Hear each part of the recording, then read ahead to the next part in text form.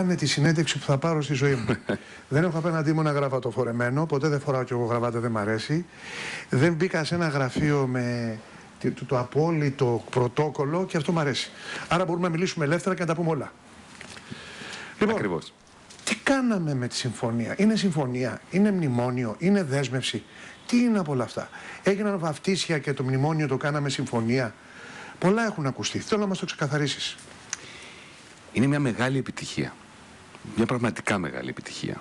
Πέντε χρόνια η Ευρώπη σύρεται μέσα σε μια μνημονιακή διαδικασία που ξεκίνησε στην Ελλάδα το 2010 το Μάιο, μετά επεκτάθηκε σε υπόλοιπες χώρες όπως η Ιρλανδία, η Πορτογαλία και η Ισπανία.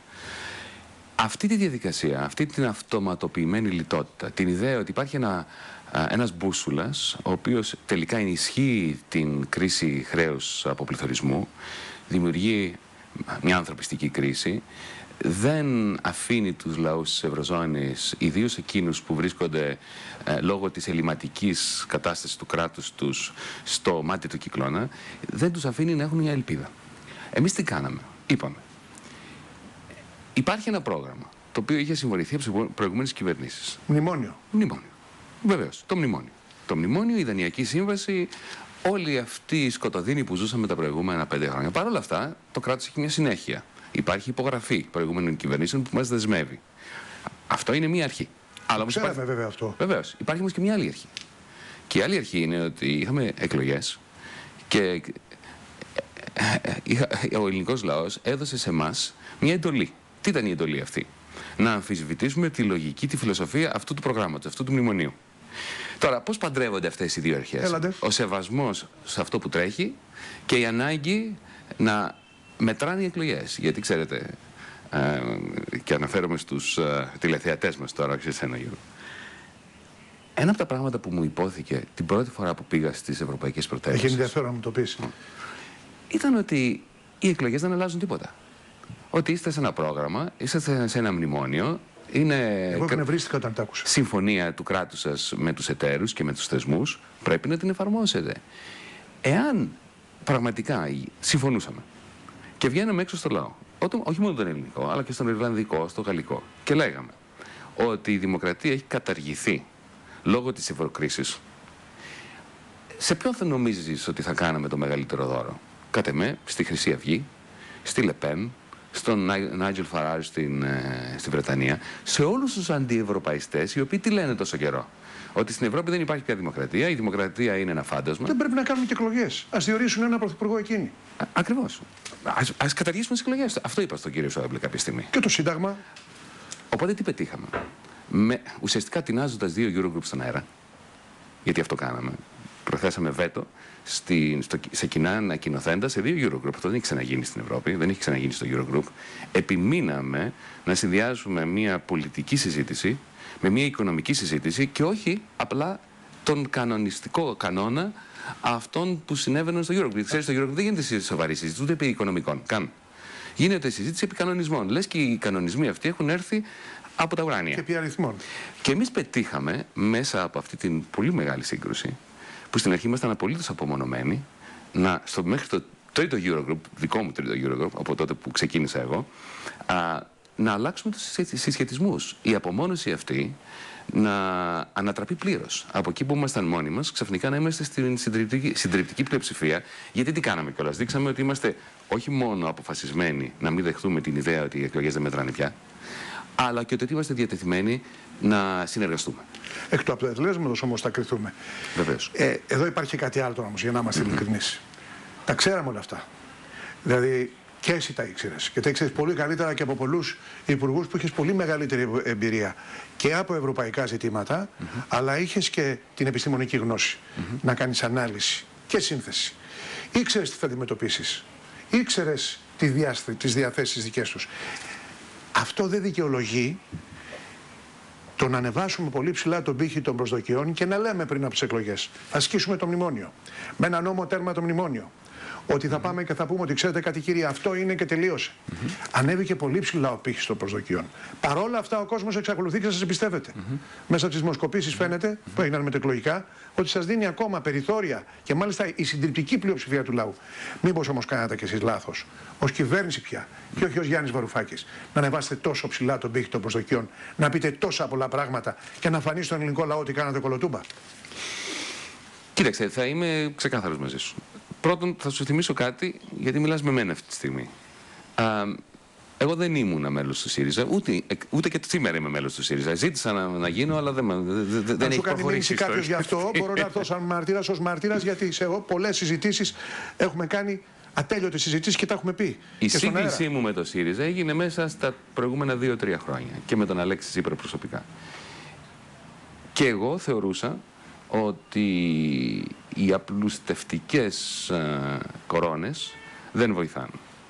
Ότι όταν έχεις, μάλιστα είχα γράψει και ένα άρθρο, θυμάμαι το, το, το άνοιξη του, του 12, όταν ετοιμαζόταν η Βουλή τότε να ψηφίσει το δεύτερο μνημόνιο, είχα γράψει ένα άρθρο το οποίο πραγματικά το έγραψα με απόγνωση. Είχα πει ήταν η τελευταία μας ευκαιρία τότε. Η τελευταία μας ευκαιρία, το αυτό το, το, το απέφθηνα προς τους βουλευτές που ψήφισαν το δεύτερο μνημόνιο, ότι ουσιαστικά δένουν τις επόμενες κυβερνήσεις, α, μειώνουν α, στο ελάχιστο τους βαθμούς ελευθερίας. Και κάθε μέρα που πέρναγε από τότε, κάθε φορά που γινόταν άλλη μια επαλήθευση, επαλήθευση μια επέκταση του μνημονίου και μια, αν θέλετε, κάθε φορά που πέραμε μια δόση, το πω διαφορετικά, μέχρι που φτάσαμε στο, σχεδόν στο τέλος των δόσεων, ουσιαστικά μειώναμε τη διαπραγματευτική ισχύ της Ελλάδας. Αυτή ήταν η στάση μου.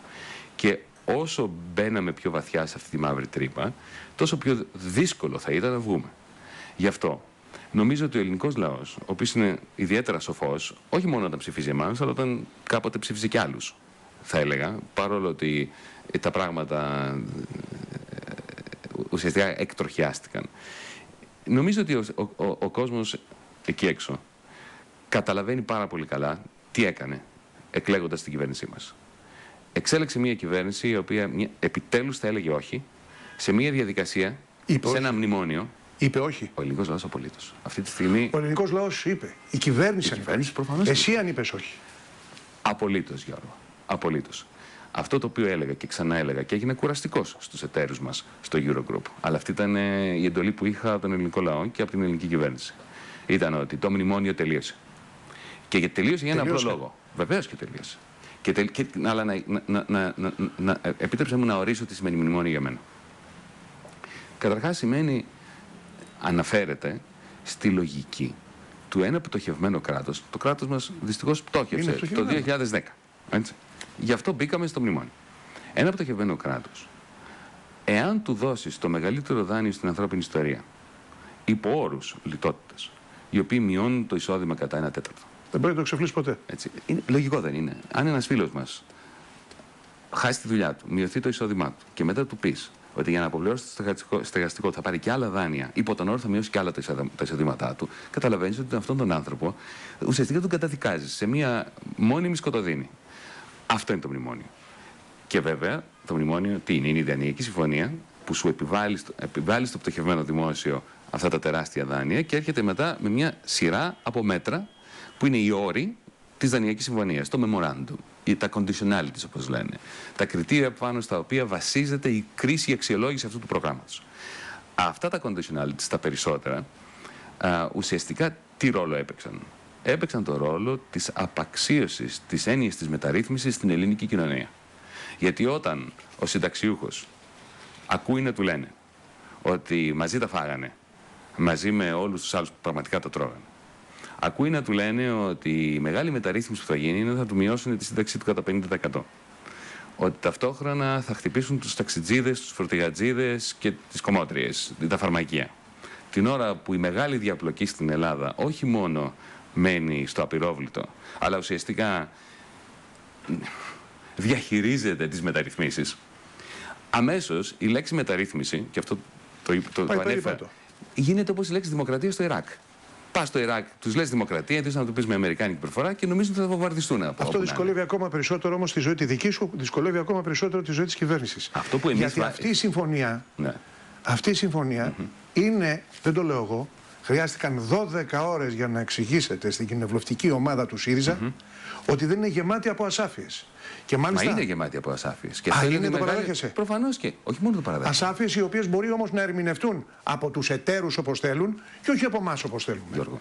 Για το θέμα του ΦΠΑ, για το θέμα των, Βεβαίως. ε, του, του, του ασφαλιστικού, των Είμαστε εργασιακών πολύ σχέσεων. περήφανοι για, τη- για το βαθμό της ασάφειας. Ε, χρησιμοποιώ και έναν όρο. Σκόπιμα δηλαδή το κάναμε αυτό. ασάφεια. Βεβαίως και το κάναμε σκόπιμα. Τι σημαίνει δημιουργική ασάφεια. Να σου πω τι σημαίνει. Θα αναφερθώ σε μια συγκεκριμένη στιγμή, μια συγκεκριμένη Κάντε μου συζήτηση. διανά να το καταλάβει ο κόσμος. Ακριβώς. Συγκεκριμένη συζήτηση θα σου πω με ποιον συζήτηση. Ναι. Αλλά στις Βρυξέλλες. Ναι. Έτσι. Σου λέει.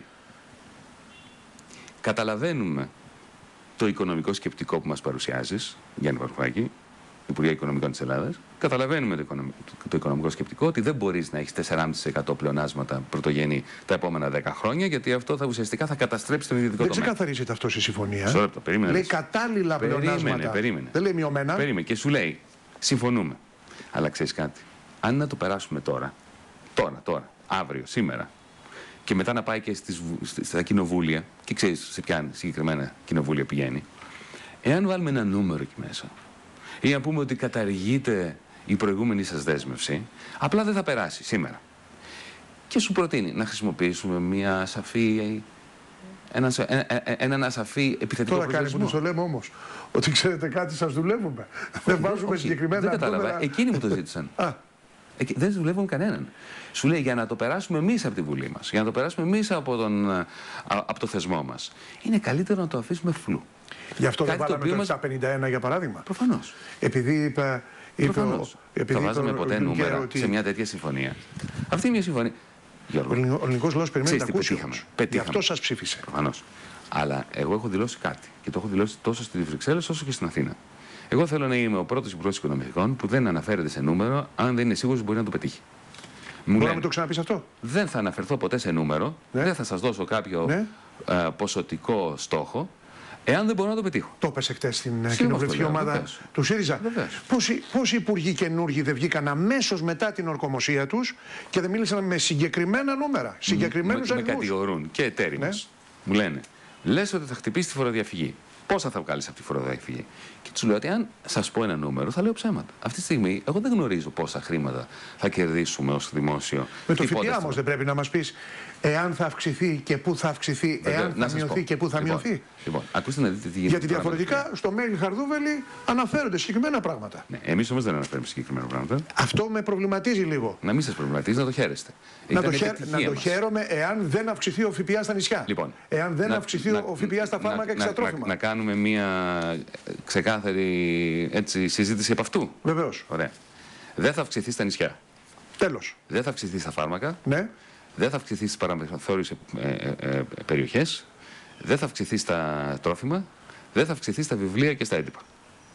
Μάλιστα. Το ξεκαθαρίσαμε; Πού θα αυξηθεί λοιπόν; Θα ψάξω να βρω Ναι. κάποιον φορολογικό συντελεστή σε ένα άνευ σημασίας αγαθό για να δείξουμε καλή θέληση. Αυτή είναι δέσμευση. Είναι δέσμευση.